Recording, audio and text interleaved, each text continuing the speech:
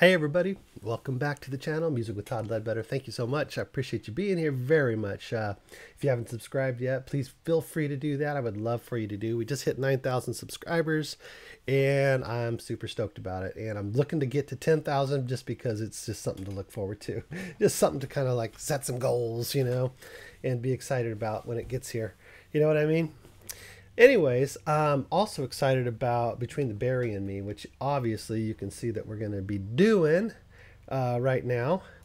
And uh, let's see let me get over to the uh, info. Yeah automatal. I guess that's how you say it. Automatal. Or maybe automata one? I'm not sure. That l looks kind of far away. Automata one. Maybe that's it you let me know, okay? Because it looks like it could be an L or it could be a one. Um, but anyways, between the Buried and me, they re- they recorded this and released it, I guess I should say, in 2018. So six songs, and I just picked one that I wanted to play. This is one just out of my own sort of bag of of uh, curiosity. You know, I wanted to get back to. Uh, some between the buried and me. So I've chosen Yellow Eyes, as you already know. So let's just get right into it because it's the way we like to do things around here. Oh, let's see, I got that. And let's check it out. Nope, wrong one. Wrong button.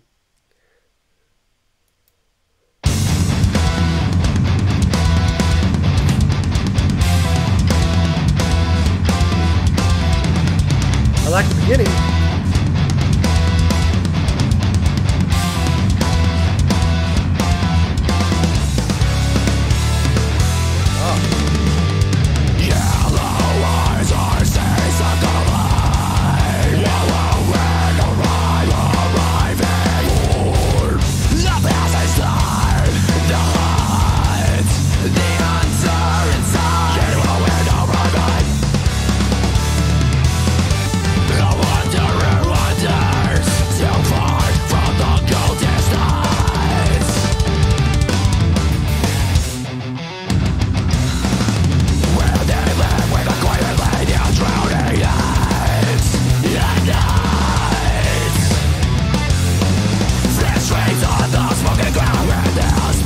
Old school punk. They just updated.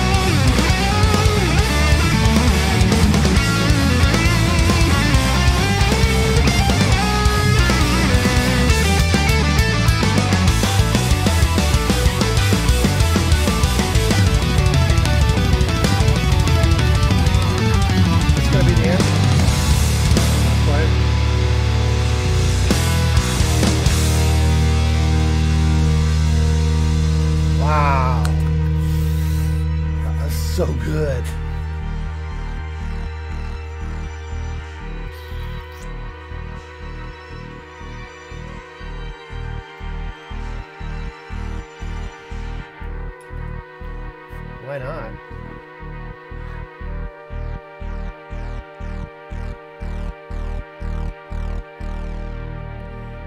Oh yeah, come on, that was fantastic. Uh oh, stop it. Here we go. Got it. That was what was that? 2018 that was released? Yes. Okay. That sounded so fresh to me. That was amazing. I was so into that. I, I don't even remember if I'd like between the buried and me from what i've heard already from them as much as i like that maybe i'm just getting to know them more but that was amazing there i mean there was so much in there i'm not even going to be able to recall all of it but first of all first off okay let's just start with the drums okay drums were killer killer drums so much fast rolls and so much timing so much cool cymbal work you know and just driving that song to oblivion. And then, of course, the bass player was, I just thought he was great. Just so good in this song. I'm sure he's good in other songs too, but we just heard this one song, so I'm talking about this song. Amazing bass playing. He was so creative. I love it. I love it when bass players, you know, get to, you know, express themselves a little bit. It's so cool um, unexpected was uh, well not unexpected the let me let me say this first the the harsh vocals were really really good and i love the mix with the the uh, clean vocals uh, just very very good. The harmonies uh, in there were cool too. Um, but the melody of the clean vocals was so catching and so perfect for the rhythm and, and this uh, the rhythms in this song. Just amazing melody. And uh, i wonder if the singer plays any instruments. Is he a guitar player or is he just a singer? He's probably just a singer huh? I don't know.